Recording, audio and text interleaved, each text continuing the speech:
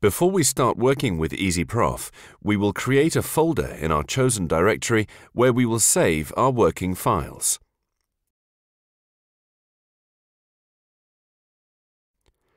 Open EasyProf. The first thing we see is the Workspace Manager.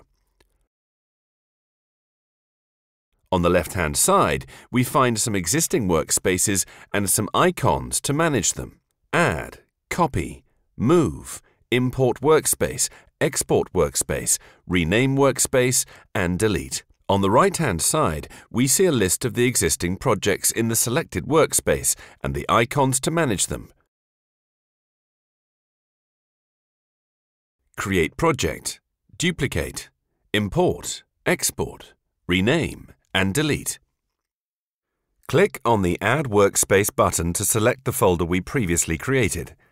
Then click on the Browse button to search our computer in order to find the folder. Click OK. We have created a workspace, but it is empty. Now click on Create Project, enter the name of our new project, and click Finish. We can create as many projects as we wish in the same workspace.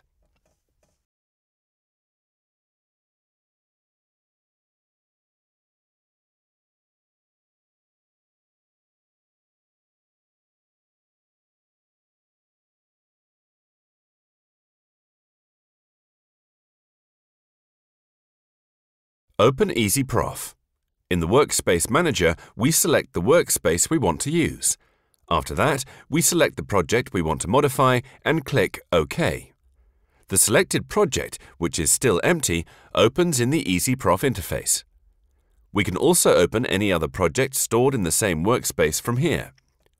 Simply go to File and Open and select the desired project.